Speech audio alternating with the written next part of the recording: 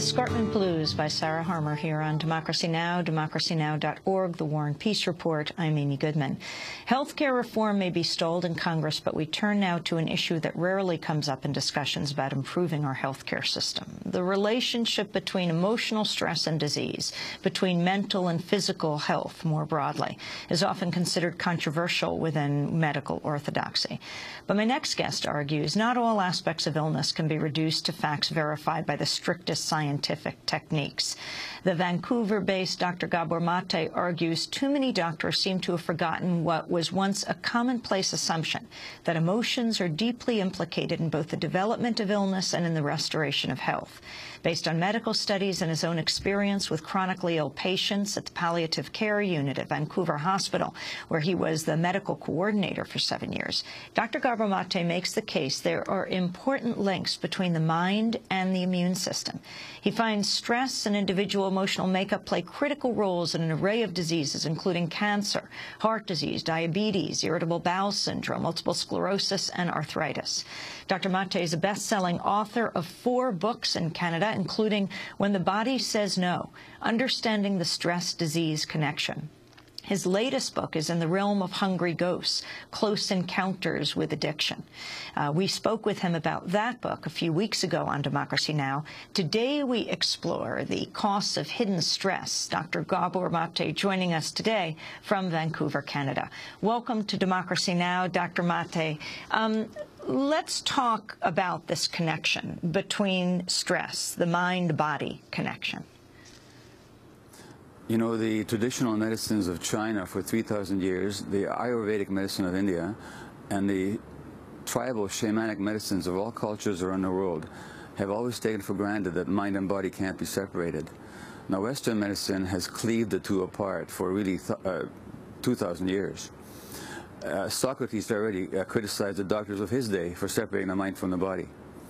And the irony, in fact, the tragedy is that now we have the Western science that shows incontrovertibly and in great detail that mind and body can't be separated. And so that any attempt to do so leaves the medical practitioner short of many tools to help clients. And of course, it leaves patients short of what they need for their own healing. Uh, healing. The, the point now is, is that the emotional centers of the brain, which regulate our behaviors and our responses and our reactions are physiologically connected with, and we know exactly how they're connected with the immune system, the nervous system, and the hormonal apparatus. In fact, it's no longer possible uh, scientifically to speak of these as separate systems, as if immunity was separate from emotions, as if the nervous system was separate from the hormonal apparatus. There's one system and they're wired together by the nervous system itself and joined together by chemical messengers that they all secrete. And so that whatever happens emotionally has an impact immunologically and vice versa. So for example, we know now that the white cells in the circulation of, our, uh, of the blood can manufacture every hormone that the brain can manufacture and vice versa. So that the brain and the immune system are always talking to another. So in short, we have one system. The science that studies it is, is called psychoneuroimmunology. And scientifically, it's not even controversial, but it's completely lacking for medical practice. What do you mean, Dr. Mate, by the mind-body, by the Bermuda Triangle? Oh, well, the Bermuda Triangle uh, is, is that the research is done. For example, let me give you a couple of examples.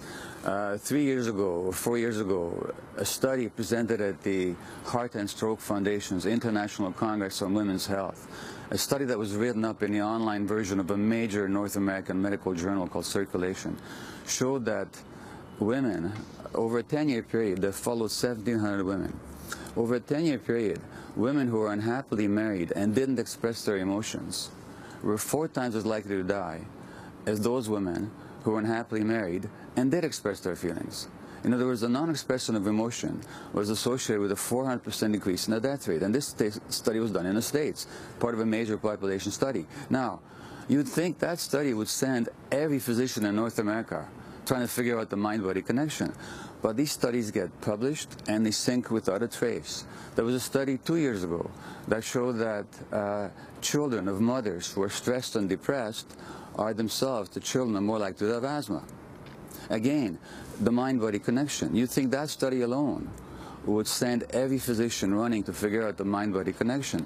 But again, these studies are done, they disappear without a trace, and they have no impact on medical practice. And that's what I mean by the Bermuda Triangle, is that we have the research, we just don't pay attention to it. It's like if it never happened. You talk about emotions like anger, sharing with our immune system the same role of defending our boundaries, saying when we repress emotions, we may also repress our immune defenses. How does that play out in various diseases? Well, when I looked at the kind of people that would be coming under my care in palliative care, but also the kind of people who would get sick when I was in family practice. A number of salient characteristics presented themselves. One was the repression of anger. People didn't know how to express negative emotion. They were afraid to do so or didn't know when they were angry. People were pleasers. They tried to always not to disappoint other people. They never knew how to say no.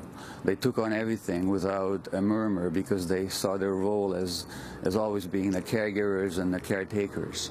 And um, they uh, had an exceedingly powerful sense of duty, role, and responsibility. Now, if you look at uh, the role of healthy assertion of boundaries and anger, for example, it's actually there to protect you. I'm talking about healthy anger. It's not there to attack anybody, it's just there to protect your boundaries. That's the same role as the immune system have.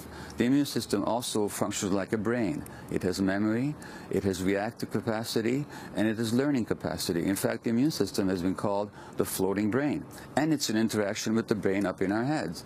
Now, Women, for example, with breast cancer who don't know how to express anger, they've been shown to have diminished activity of a group of immune cells called natural killer cells. Natural killer cells attack foreign bacteria, uh, virus, and also malignant cells. In other words, they protect our boundaries. Women who don't know how to express their boundaries emotionally, they suppress their boundaries immunologically, and therefore they're more likely to develop disease. The same is true, of course, of men. So that the immune system is in constant interaction with our emotional responses. In another study with the immune system, medical students under the stress of examination were found to have diminished activity of their natural killer cells, these immune cells. But those students who were emotionally isolated were most likely to have diminished activity of their immune system. In other words, another fact that's important is our relationship with other people.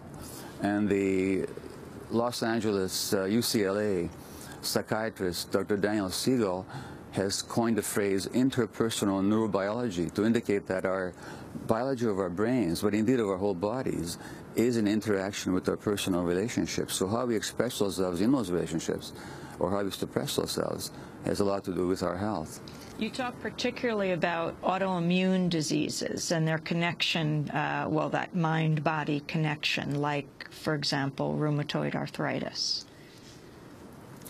Uh, a case example I give in the book is a young woman who was preparing Rosh Hashanah dinner uh, one night for the family, Rosh Hashanah being the Jewish New Year that falls in September. Her, I called her Rachel in the book, and she was working very hard. She was at her mother's place cooking dinner, and she was in a real hurry because she had to finish by 5 o'clock when her brother was going to arrive with his family, and he didn't like her. He didn't want her to be at the dinner. So she had to finish the dinner and leave before he arrived. And I asked her, are you serious? You're making dinner for a family that you're only going to take part in yourself? Why? And she said, well, because the family should be together for Rosh Hashanah, shouldn't they? Well, she never finished the meal. Her body said no. She came down with severe inflammation on all her joints, and she was rushed to hospital with her first uh, malignant outbreak of uh, rheumatoid arthritis. And that self-suppression is typical for people that develop rheumatoid arthritis.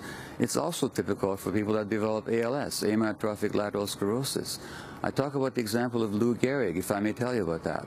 Lou Gehrig uh, was a great baseball player, a teammate of uh, Babe Ruth and the New York Yankees, and he set a record for consecutive games played that stood for nearly 60 years. Now, Gehrig wasn't just a great athlete. He was also dutiful. He, it's not that he was never hurt.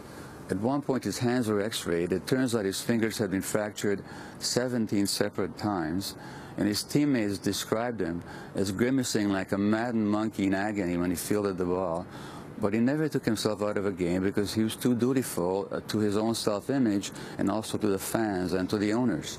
Now, that sense of responsibility and, and not looking after yourself is totally typical of everybody who develops ALS. And it goes back to their childhoods because just like with the woman with rheumatoid arthritis, she was a failure the moment she was born because her mother conceived her to keep the marriage together with the father. The marriage broke up, and she never had the feeling that she was accepted and liked for who she was. Therefore, she had to become this dutiful caregiver. Lou Gehrig's father was an alcoholic, and Gehrig learned very early in life that he had to take care of others, as the children of alcoholics often do, and that then became his pattern until he could no longer drag himself around the baseball diamond because of the ALS, which in North America, of course, is known as Lou Gehrig's disease. We're talking to Dr. Gabor Mate, the author of four best-selling books.